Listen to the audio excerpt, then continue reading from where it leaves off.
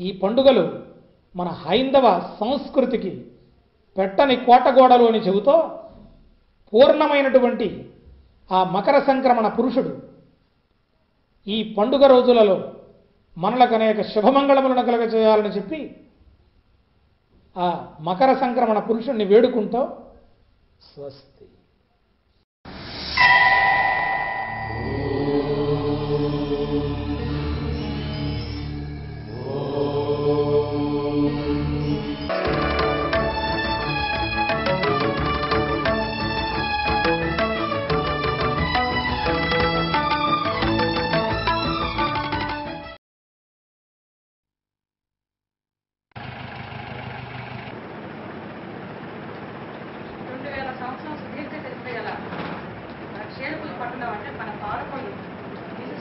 పట్టణం చాటు చెప్పేందుకు. క్షీరపులి ఉత్సవ కమిటీ వాళ్ళు.